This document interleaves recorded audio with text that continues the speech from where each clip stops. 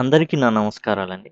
కొత్తగా మారినటువంటి డిగ్రీ సంబంధించిన English syllabus, English practice course one A course in communication and soft స్కిల్స్‌లో unit టూలో speaking skills, sounds of English vowels and consonants దాన్ని ఆధారం చేసుకొని అడిగేటటువంటి phonetics ట్రాన్స్క్రిప్షన్‌ని ఇప్పుడు మనం డిస్కస్ చేసుకోబోతున్నాం. ఈ విధంగా ఉంటుందండి ఫొనెటిక్ ట్రాన్స్క్రిప్షన్. అంటే ఫొనెటిక్స్ అనేది ఇవ్వడం జరుగుతుంది. వాటిని మామూలు పదాల్లో మార్చి రాయాల్సి ఉంటుంది. ఇప్పుడు మనం చూసేది ఆదికవి నన్నయ్య యూనివర్సిటీలో నవంబర్ 2016లో పదహ 17లో ఇచ్చిన పేపర్ ఏదైతే ఉందో దాంట్లో దానికి సంబంధించి మనం ఇప్పుడు చేస్తున్నాం. కొన్ని యూనివర్సిటీస్ ఐదు మార్కులు కేటాయిస్తే ఇంకొన్ని యూనివర్సిటీస్ పది మార్కులు ఫొనెటిక్ ట్రాన్స్క్రిప్షన్‌కి కేటాయించడం జరిగింది ఇంతకుముందు. ఇప్పుడు చూద్దాం. ఇది చూడండి. ది ఈ ఈ అక్షరం ఆ, ఆని సూచిస్తుంది అనమాట ఇది గ, జీ లాగా కనబడుతుంది. గ, ఎన్ అంటే ఆ ఉంది, గ ఉంది, ఇన్ ఉంది. మనం చూసుకుంటే ఎయి ఇది వచ్చేసి ఎయి, అగెయిన్ మొత్తం కనుక చదివితే మనకి ఈ విధంగా వస్తుంది అనమాట అగెయిన్ ఆ, జి గ, ఎయి, ఇన్, అగెయిన్ ఇదండి. అండ్ ఈ పదం వచ్చేసి ఈ విధంగా. ఈ విధంగా మనం ఏంటంటే కొంచెం బేసిక్ కామన్ సెన్స్‌ని ఉపయోగించి రాయాల్సి ఉంటుంది. తర్వాత కే. మనకు తెలుసు కే అని క్ శబ్దం వస్తే సి కానీ కే కానీ ఉంటుంది. మోస్ట్ సీనే ఉంటుంది. ఇక్కడ అవుట్ కౌట్ అని వస్తుంది. అవుట్ అంటే అవు అవు అని కూడా కాదు. ఓ, అవుకి మధ్యలో ఉంటుంది. కౌట్. అంటే ఈ విధంగా కోట్ అన్నమాట అది. ఎట్లా? చూడండి ఇది కే. మనకి సి కానీ కే కానీ ఫామ్ చేస్తాయి. చివర్లో టీ మనకు కనబడుతుంది. ట్. ఇక్కడ ఉన్నది అవుట్ ఇక్కడ సిఓయుటి దీనికి అర్థం అనేది లేదు. మనకు తెలిసింది సీఓఏటీ ఉంది. కోట్. ఆ విధంగా రాయాల్సి ఉంటుంది. తర్వాతది మనం చూస్తే చూడండి జ, ఊ రెండో ఊ అన్నమాట. ఆ, ఈ, ఉ, ఊ రెండో ఊ, మొత్తం కలిపితే జూన్. తెలుగులో రాసుకోండి జూన్ ఏమొస్తుంది? J U N E June. అంతే కదా! జ అంటే జే వచ్చేస్తుంది. ఊ రెండో ఊ, న్ జేయుఎన్ జేయుఎన్ అనేది ఉండదు. చివరిలో ఈ పెట్టేస్తే జూన్ నెల అవుతుంది. తర్వాత చూడండి మ్ మెజా అని ఉమ్ ఎం రా ఎం రాసేస్తాం. ఏ ఇదేంటంటే ఏ లాగా పలుకుతుందన్నమాట ఈ పదం. మొత్తానికి మనకేందంటే అండి ఓవెల్స్లో షార్ట్ ఓవెల్స్ కొంచెం ఇబ్బందిగా ఇబ్బంది పెడతాయి అనమాట ఒక నాలుగు ఉంటాయి. 4, 5 ఉంటాయి ఇబ్బంది పెట్టేయి. అవి గనక మనం చూసుకుంటే ఈజీ అయిపోతుంది. కొన్ని కష్టంగా ఉంటాయి. వాటిని గుర్తుపెట్టేసుకుంటే అందులో కష్టంగా ఉండే మెజా ఒకటిను, ప్లెజా ఒకటి. ఇవి ఈజీ అయిపోతాయి. జస్ట్ ఇట్లాంటివి మనం రాసుకున్నప్పుడు ఏమవుతుంది మెజా అన్నమాట.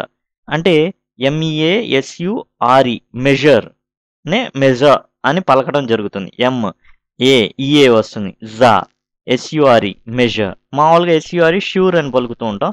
అయితే ఇక్కడ జాగా పలుకుతుంది మెజా. అట్లానే ఇక్కడ మీరు చూసుకుంటే ప్లెజా సేమ్ అట్లానే ఉంది చూడండి. మీరు ఇక్కడ చూసుకుంటే పీప్ కనబడుతుంది. ల్ కనబడుతుంది. ఎజా ఈఏ ఇక్కడ మీకు ఎజా ఇక్కడ మీకు ఎజా సేమ్‌గా కనబడుతుంది చూడండి. ఇదిగోండి చూడండి. ఈ గమనించండి. ఈఏ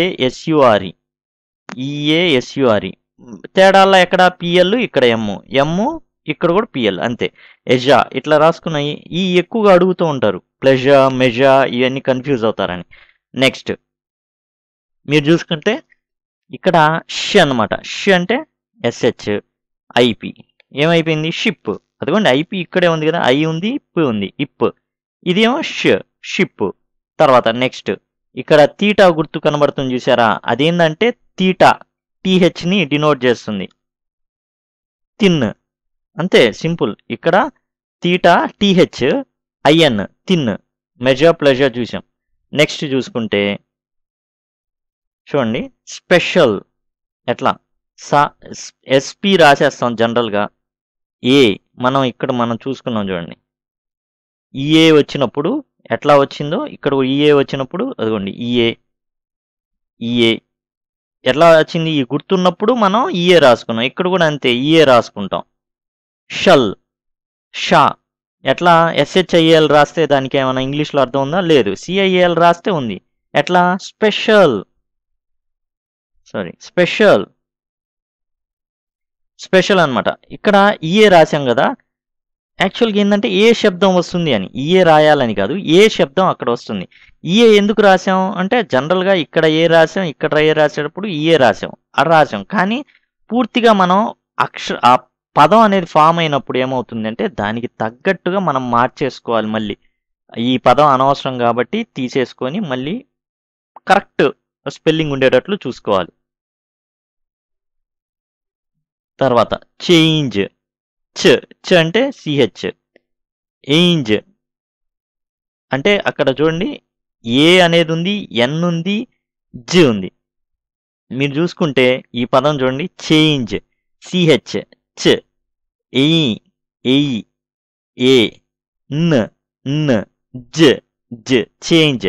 సింపుల్గా మనకేందంటే అవన్నీ పలకడం వచ్చినాయి అనుకోండి. పలకడం వస్తే సింపుల్గా మనం ఆ పదాన్ని గనక ఒక మైండ్ మన మైండ్లో గనక ఆ పదం గనక తెలుసుంటే మనకు తెలుసుంటే సింపుల్గా రాసేస్తాం. కాకపోతే కొంచెం ప్రాక్టీస్ చేయాలి ఒకటి రెండు తప్పులు పోతాయి అలాంటి వాటిలో ఇది ఒకటి ఇప్పుడు ఫాము ఇక్కడ ఆ ఫామ్ అని ఉంది. అంటే దరిదాపులుగా రెండో ఆ మాదిరిగా ఉంది దీర్ఘప దీనికి వచ్చేసి ఎఫ్ఏఆర్ఎం వస్తుంది. ఎందుకని ఇక్కడ మనకు కనబడుతుంది ఫామ్ అన్నప్పుడు ఎఫ్ ఉంది ఎం ఉందండి? ఎఫ్ రాసాం ఎం రాసాం మధ్యలో ఏముండేదనే సమస్య. ఆ రెండో ఆ మాదిరిగా ఉంది. ఇక్కడ చూసుకుంటే ఇది ఎట్లా అంటే ఇది వచ్చేసి ఎఫ్ఓఆర్ఎం అనమాట ఫోమ్. ఓ మాదిరిగా ఉంటుంది ఇది ఇదేమో ఆ మాదిరిగా ఉంటుంది. దానికేమో ఫాము ఇదేమో ఫో ఫోమ్ ఫామ్. ఫాము ఇదిగేమో ఫోమ్. కొంచెం ఓ మాదిరిగా పలుకుతుంది అనమాట ఇది. ఆ విధంగా మనం ఏంటంటే ప్రాక్టీస్ చేసే కొద్దీ ఇవి తెలుస్తూ ఉంటాయి. మనం ఫామ్ అంటే ఎట్లా వస్తుంది? ఫోమ్ అంటే ఇట్లా వస్తుంది. కొంచెం ఓ మాదిరిగా పలుకుతుంది. అదే మనం చెప్పుకున్నాం ఇరవై ఆరు అక్షరాలే ఉన్నాయి ఇంగ్లీష్లో కానీ నలభై నాలుగు శబ్దాలు ఉన్నాయి. కాబట్టి మన తెలుగులో ఉన్నాయి కూడా యా ఉంది. ఇంగ్లీష్లో యా వేరేగా ఉంటుంది. ఆకి యాకి మధ్యలో ఉన్నట్టు ఆకి ఏకి మధ్యలో ఉన్నట్టు ఇలా కొన్ని పదాలు ఉంటాయి. మనకు అంత ముందు ఉండేవి. చా మీద మనం ఏంటంటే పైన ఒక గుర్తు పెట్టేవారు. మా తా కింద అత్త అనే వచ్చేటప్పుడు తా కింద పెడతామే. అది తీసుకొచ్చి చా పైన పెట్టేవాడు. అదేంటే కొంచెం చా ఏంది? చాప అని వాడడానికి వాడేవాళ్ళు.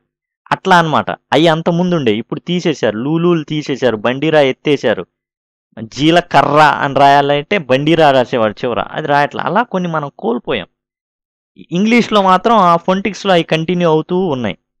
కాబట్టి కొంచెం మనం జాగ్రత్తగా చూసుకుంటే సక్సెస్ఫుల్ అవుతాం.